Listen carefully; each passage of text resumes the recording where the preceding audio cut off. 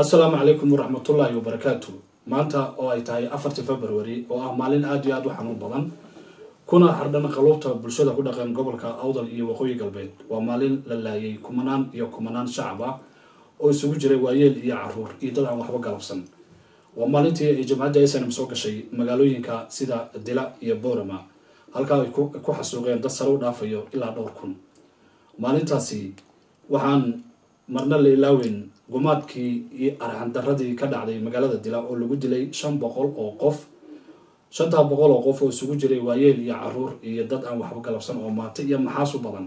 Sidoo kale isla habeennimadii sideedii fiidnimo waxay soo galeen magaalada boorama jamcaddii snm iyadoo markaa ay ka mid ahayn raggii hogaaminayay dhagaweyne iyo ninkii loo yaraada cabdiraxmaan tollaawe iyo rag fara badan oo kale oo maanta mujaahidiinku yani ku tilmaaman. Oo uu qeyb ka yahay ninkii layada muuse bixi waxaa habeenka magaalada ka dhacay saacado kooban gudahood in lagu dilay toddoba boqol iyo laba iyo lixdan qof kuwaasi oo ahaa carruur iyo maato iyo maxaas aan cidna loo kala aaba yeelin. Maatadaasi ama dadkaasi waxaa ka mid ahaa dad si arxandara ah si gooni ah loo laayay kuwaasi oo ahaa madaxdii markaa gobolka ka talinaysay gaar ahaan duqii magaalada boorama oo kale. Duqa magaalada boorama waxaa lagu sameeyey asaga iyo dhammaan carruurta iyo faamiligiisii in inta gaari lagu xiray bam lagu qarxiyey waxaa jiray ooriyooyin ama dumar lamaan oo caloosha laga soo tuuray. Sida uu hadda ka hor uu sheegay sheekhulbeledka sheekh xasan dihaye oo sheegay walaashii oo uur oo xaamilo ah in caloosha laga soo riday. Arxandaradii meesha ka dhacday waa mid aan la soo koobi karin. Goordhowna waxaan aan qadka telefoonka ku wareysan doonaa goobjoogayaashii markaa joogay min bilow ilaa dhammaad.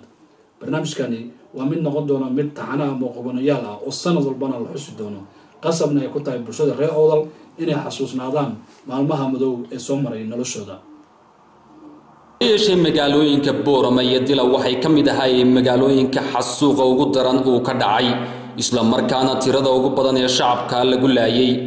Dadkaasi xilligaasi ku naf waayey waxaa lagu qiyaasaa ku dhowaad kun iyo sideed boqol oo qof kuwaas oo ku aasan xabaalwadareedyo ku yaalla magaalooyinka dila iyo boorama. Marka laga yimaado intii ku dhimatay allaha u naxariistee waxaa iyaguna jira qaar naafa ah oo waqti xaadirkan ku nool magaalooyinka gobolka awdal kuwaasoo haba yaraatee aan wax xuquuqa iyo daryeel ah aan weli helin. Qaar ka mida dadka naafada ah ee ku nool degmada dila ayaa sheegay in jabhaddii snm ay naafo ka dhigtay markaa loo baahan yahay in naafada somalilan ay noqdaan dad isku xuquuqa oo siman oo si siman wax u helaa anigu aad baan meel walba uga dhawacana waana dagaalkii wakhtigii sokeeye oo xuquuq wax u soo socda iyo wax wax odhanaya maan arag. Maalintaa maalmahay ugu daraydna waan ahayd waxaanay ku dhaawacmay dagaalkii sokeeye iyo maalmihii halkan dila la soo galay iyan halkan dila joogo maanta waxay uga dhigan tahay maalin madow. Waa maalintii gobolka awdal ee xasuuqu ka dhacay. Ee dhibaatada aad u ballaadhan ka dhacday.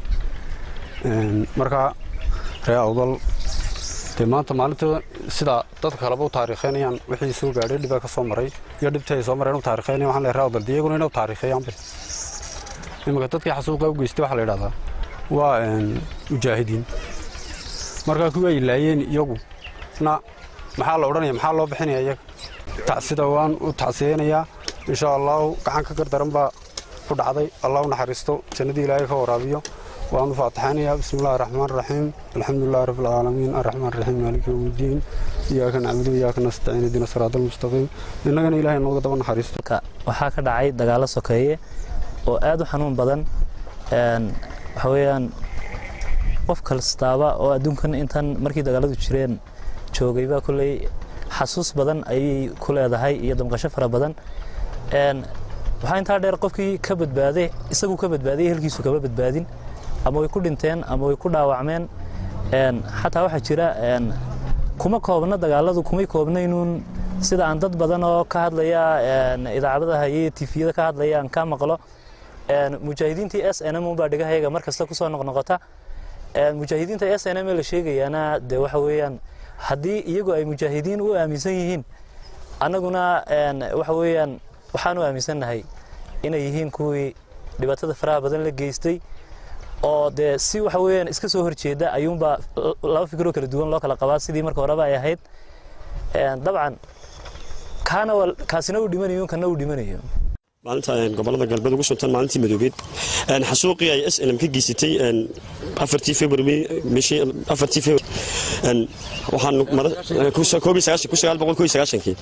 waxaanu halkan u taagannahay waa maalin murugeysan waa maalin maxay?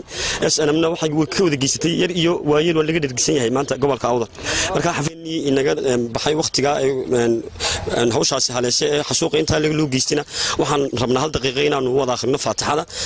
Liannahu maanta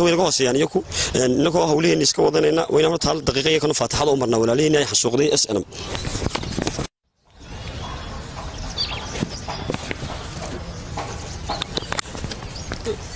salaan kadib maanta oon joogno afartii februari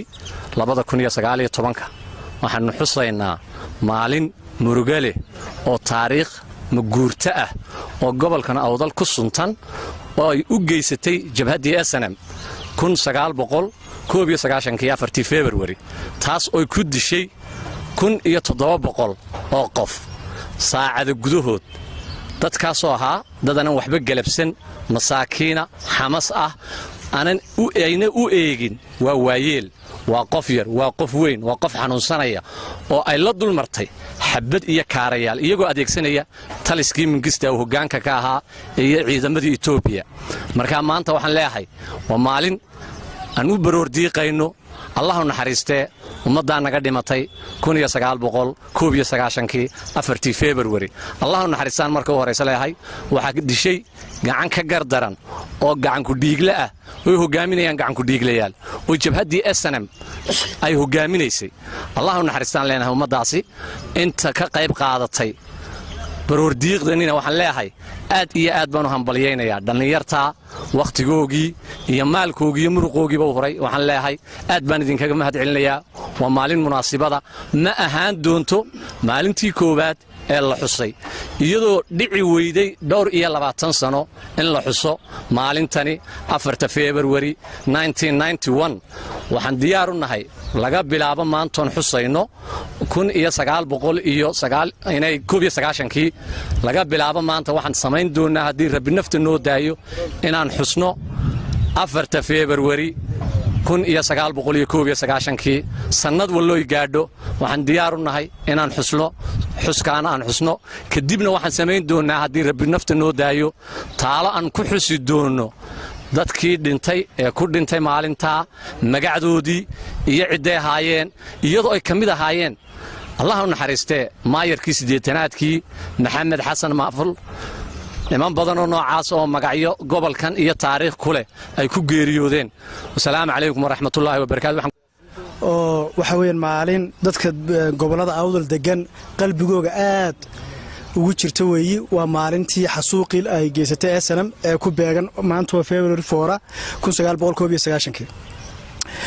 aan waxaan rabaa bal inaan snm iyo waxay geysatay iyo dhibaatada waa laga wada dharagsan yahay. Maxamed baana ka hadlay hortay laakiin waxaan rabaa snm maxaan ka dhaxalnay bal taa inaan yar dul joogsadaan rabaa.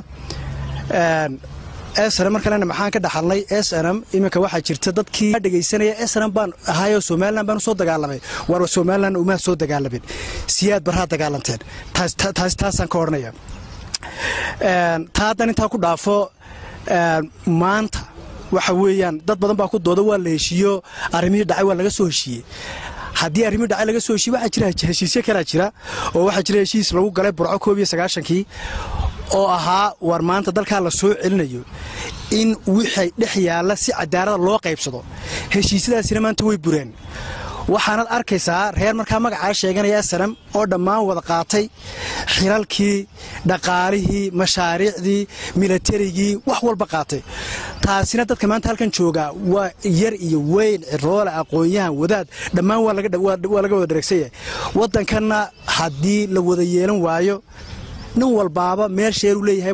Raxmatullaahi tacaala wabarakaatu alxamdu lilaahi rabbi alcaalamiin waalcaaqibatu lilmuttaqiin walaa cidwaanu ilaa cala daalibiin awalan waan idin salaamayaa dhammaantiin maanta waa maalin murugo leh waa maalin saamayn badan qalbiyadeenna ku reebtay waa maalin aynu weynay dad badan oo aad iyo aadaan u jeclayn waa maalin aan odhan karo qalbiyada dadka awdal degan waxay ku tahay maalin dhimbiil dab ah marka runtii waa maalin aynaan soo koobi karin shucuurteenna waa maalin aan odhan karno wakhti badan baynu ka seexanay laakiin hadda kabacdi waynu xusi doonaa runtii haddaan wax yar ku noqdo xasuuqii ka dhacay gobolka awdal tirada la sheegayaa waa ilaa kun iyo toddoba boqol iyo dheeraad dadkaasi waxay dhinteen muddo afar iyo labaatan saacadood gudahooda.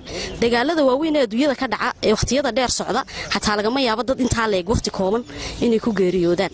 Marka runtii naxariis darrada iyo xumaanta iyo qalbi adaygu halkay gaadhay uunbay ku tusinaysaa. Dadka reer awdal runtii waa dad aad iyo aad u sharaf badan waa dadka hogaanka u haya maanta wadanka lagu naaloonayo iyo somalilanka lagu faanayo. Runtii waxaan odhan lahaa dadka reer awdal waa maalin xanuun badan waa maalin murugo badan waa maalin aynu weynay dad badan oon aad iyo aad u jeclayn. Waa maalin qalbigeena ku reebaysa xanuun badan.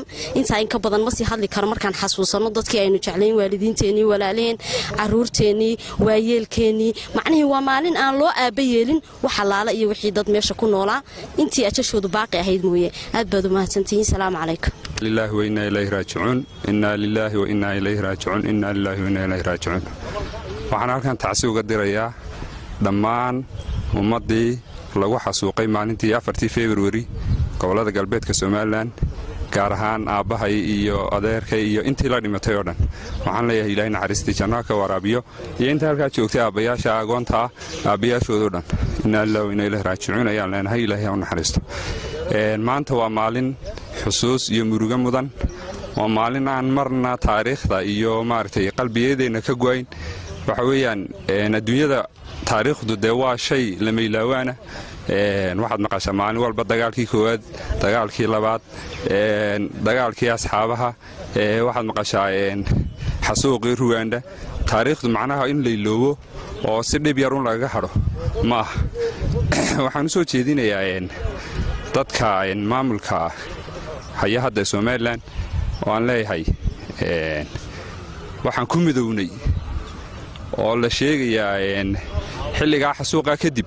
Odayaashii iyo siyaasiyiintii ka soo jeeday gobolladan inay qaateen mabda'a somalilan oo ay ka soo qaadeen waxay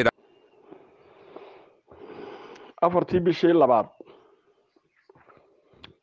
Maalin madow bay ahayd oo qadhaadh aada u qadhaadh.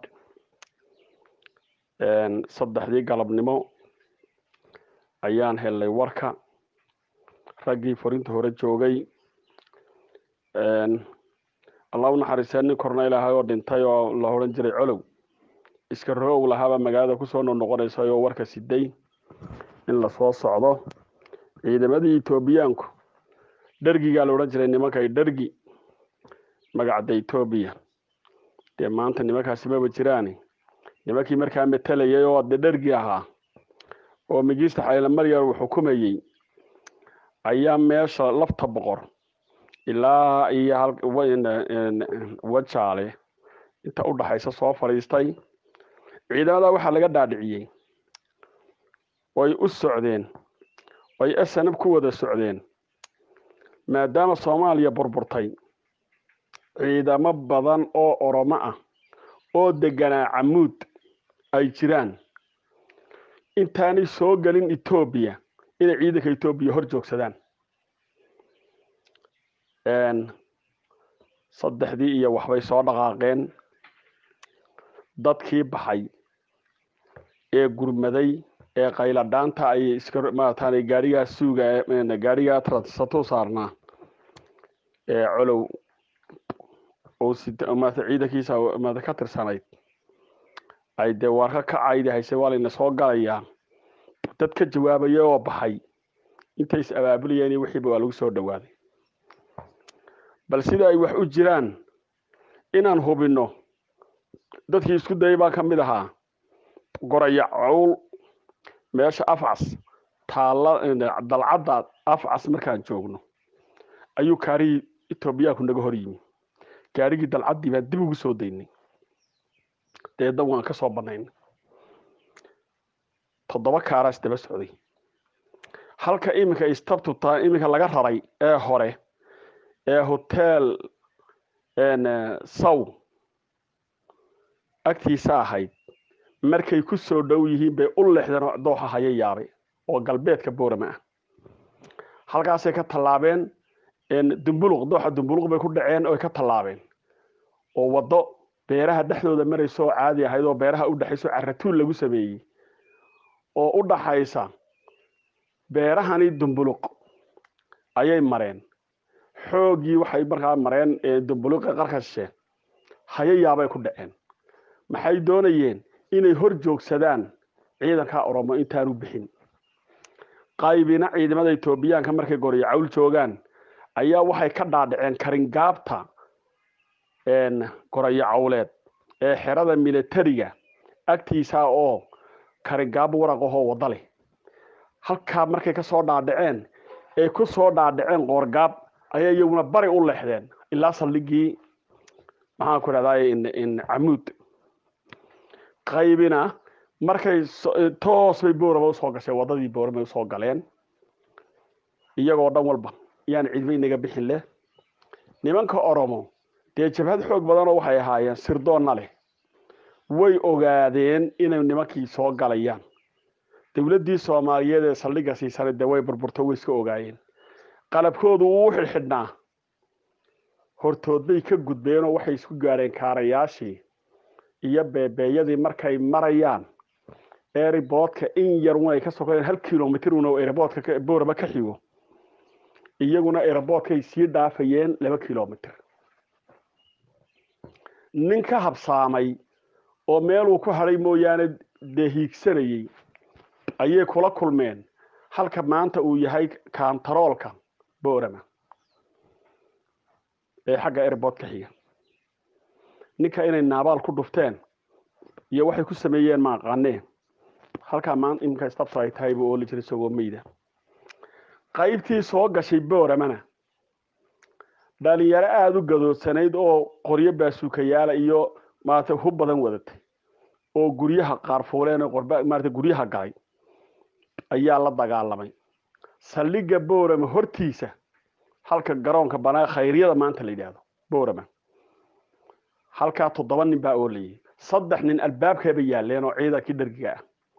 Afar ninna hareeraha yaaleen oo saldhigga dhan walba way ka mareen.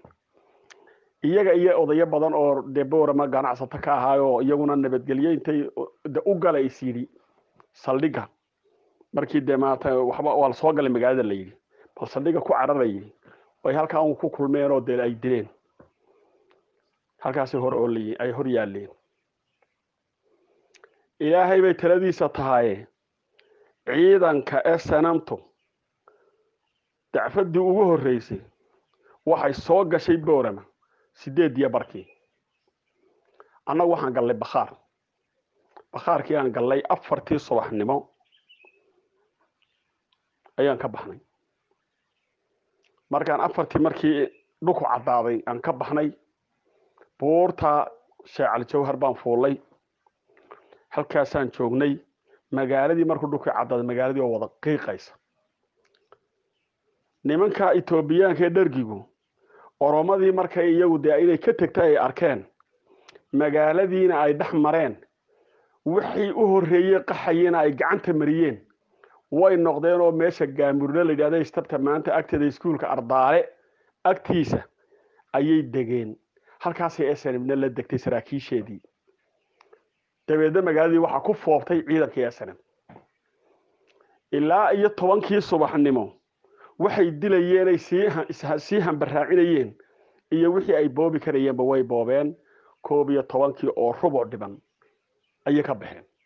Magaalada saasay ahayd. Maalin maarataani aada u murugo badan bay ahayd. Maalin niman aan walaalanahay oo siyaasada una ay isku adeegsadeenoo ciidamo etoobiyana soo adeegsaday oo ciidamadiina dhufays ka dhigtay etoobiyaankiiyo kaarayaasha watay.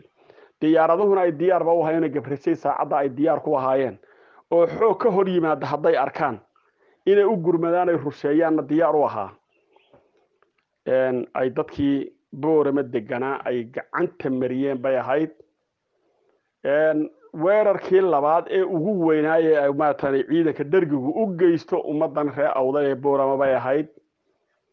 Ta ka horreysana waxay ahayd tii maaratan bishan imika dhammaatay soddonkeedii ardaydii yareeyadaan waxba kasban aan maarata waxbaba galabsanine iskuullada dhiganaysa iyo macalimiintoodii lagu xasuuqay ay diyaaradaha maarata dhergoga ay ku xasuuqeen. Tan labaadna tan bay ahayd. Waa taariikh dhacday. Dee waxa weeyaan ka sheekaynteeda iyo ka warhaynteeda iyo iyo ka faa'iidaysigeedoo meesha u yaallaa maanta maalin magaalada wax lagaga tegay may ahayn. Guryaha markii dambe la garaacayay inta guryaha hoosta ka xidhatay ee ku badbaaday intii hore habeennimadii badbaaday aroornimadii baa la leynayay inta albaabada lagu garaaco naga fura la yidhahday u gelayeen nimanka sanabtu ay xasuuq daran bay geysteen waxa taariikhdeeda aada u haya. Buug dhanna maalintaa meydka aan ururinayna guddoomiye noogu ahaa. Cabdilaahi dheere cabdilaahi dheere ayaa ka guddoomiye ahaa ilaa laga soo celiyo carragaranuug ilaa laga gaadhayo dila wixii halkaa dad daadsanaa dad badan baa rikoord garaynaya oo ururinayay. Laakiin guddigii markaa isxilqaamay ee maarata is abaabulay oo la socday cabdilaahi dheeraa hogaaminayey rag madaxa ayaa maalintaa ka mid ahaayoo magaalta magaalada lagu laayay. Baayac master baa ka mid ahaa aan la tirin karin. Dad waayeelaa ka mid ahaa dad caruuraa ka mid ahaayoo la xasuuqay. Cid alle cid loo aabba yeelay. Ma jirin. Ilaa nin qori wata haddii xitaa dadka darisiiskuba dhacaan dee nin qori watay iyo xere uu degana ha la doonto. Laakiin inaa shicib dee markii maaratan guryaha inta loogu gala la xasuuqo. Dhacdo cusuba waxay ahayd dee maaratan deegaanka geeska africa ku cusub. Laga soo kaban. Waa laga kabtay. Wixii dhintay allah ha u naxariisto wixii dhacdadaa ku tegay ilaahay ha u naxariisto wixii de ku dhaawacmay ee bogsadayna. Ee ilaahay uu u melmeliyey maarata dhaawiciina ilaahay baan ugu mahad celinaynaa maalintaasi saasay ahayd. Halkan waxaan tacsi iyo baroordiiq aan uga dirayaa dhammaan shacab weynihii reer awdal ee afartii february ay ku laayeen maamulka s n m ee dhiigmiiratada ah iyo dhargigii etoobiya oo wala socda. Ay ummadda shacabkaas ay si arxandaro ah arxandaro leh oo adag oo soomaalinimo iyo islaamnimo ay ka baxsan tahay u laayay shacabkaas afarta february meel kastoo ay duniyada dacaladeeda ka joogaan iyo ummadda soomaaliyeedba waxaan uga tacsiyadeynaynaa geeridii feesha xumayd ee ay dadkaas s n m ee xabashida kalkaalinayay ee xabashida watay ay boorama ay ku laayeen dila ay ku laayeen looyacdo ku laayeen saylac ku laayeen gobolka dhan ay ku laayeen ee u soo kaxaystay cadowgii ummadda soomaaliyeed oo xabashi ahaa. Ilaa maantana dusha kaga fadhiya shacabka reer awdal oo sidii uun u leynaya oo aqliyeysan weliba ka sii dara maalintaas beebe iyo iyo kaalaa la dulmariyey. Ta ay maanta ay ku hayaanba ka sii daran beebeegii iyo kaalihii oo haldoorkoodii iyo aqoontoodii iyo maskaxdoodii iyo raganimadoodii jufa yar jufa yar oo cuqdadeysani ay gacanta ku dhigtay. Walaalayaal shacabweynaha reer awdal iyo ummadda soomaaliyeed. Waxaan ka taxsiyadeynayaa afartii february oo aan mid aan la halmaamin ah mid aan la iloobin ah ummadda soomaaliyeedna inaan xasuusino ah. Shacabweynaha reer awdal taariikhdooda iyo ciddii dhibtayna inaan xasuusino ah taasaan ka taxsiyadeynayaa meel kastoo ay duniyada dacaladeeda ka joogaan gobolka wixii jooga adduunyada wixii jooga waa tacsi afarta february xun oo aan qof soomaaliya geyin bay s n m ku samaysay weli ilaa haddeerna xaqoodii cid ay u raacaan iyo cid ay u doontaan ma jirto ee madaxa lagaga taagan yaho way wareersan yihiin. Oo waxay noqdeen dad meel lagu xidhay oo meel ay u cararaan lah oo boqol doolar iyo munaafaqad iyo kala kaxayn iyo kii ugu jaahilsanaa oo s n m ah madaxa lagaga dul fadhiisiiyey walaalayaal ummadda soomaaliyeed waxaan leeyahay nin kastoo meel kasta dhawaaqayga ka maqlaya ummadda soomaaliyeed ee reer awdal waa afartii february. Faatixada ha loo soo maro. Waa anoo elyaasa kuna nool stockholm sweden. Wasalaamu calaykum waraxmat ullahi wabarakatu